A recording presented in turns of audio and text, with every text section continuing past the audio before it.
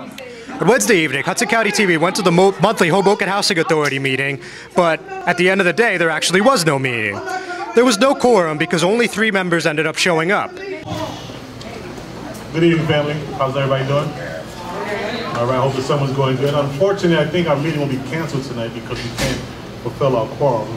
Um, we had one confirmation from one commissioner that she would not be making it tonight. And the other two did not respond to us at all. They didn't let us know if they were coming in or anything. Oh, who's in Florida? Nobody, nobody. We didn't get, no. still we didn't get a communication. No, this is uh, this is how we uh, are handling business tonight. They've left us hanging. Um, we all see this now. We have to handle the budget tonight. We had HHA business bills to pay. We had vendors to pay, and uh, no one saw fit to give us a call. Perhaps, perhaps, perhaps they're all in agreement. But only one let us know that she wasn't going to make it. So we'll be uh, canceling this meeting. At the end, we were able to speak with Chairman Robert Davis about what happened and who did not manage to make it.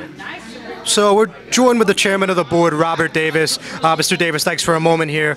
So could you just tell us who was not able to attend this evening? Well, we only had one call, and that was from uh, Commissioner Judy Burrell, who said she wouldn't be making it. But we did not get any calls from uh, Commissioner Mello or Stuiver that they would be attending or not attending. So they've kind of uh, shucked their fiduciary duties this evening.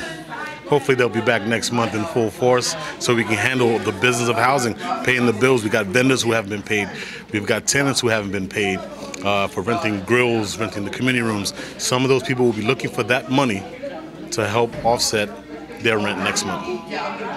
All right, so are you surprised that there was no quorum? Have you ever seen this before? This is the first time it's happened to me.